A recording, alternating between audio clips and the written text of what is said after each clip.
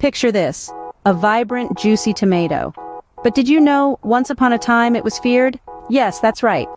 Back in the 16th century, Europeans believed tomatoes were poisonous due to their close relation to the deadly nightshade. Can you imagine a world without tomato sauce? It's hard to fathom now.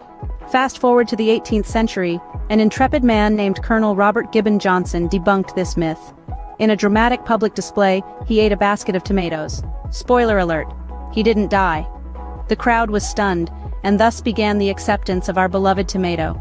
From fear to fascination, the journey of the tomato is a testament to how misconceptions can shape our perceptions. Next time you bite into a tomato, remember its intriguing past. The humble tomato, once a symbol of fear, now a staple in our kitchens. A true culinary revolution, wouldn't you agree?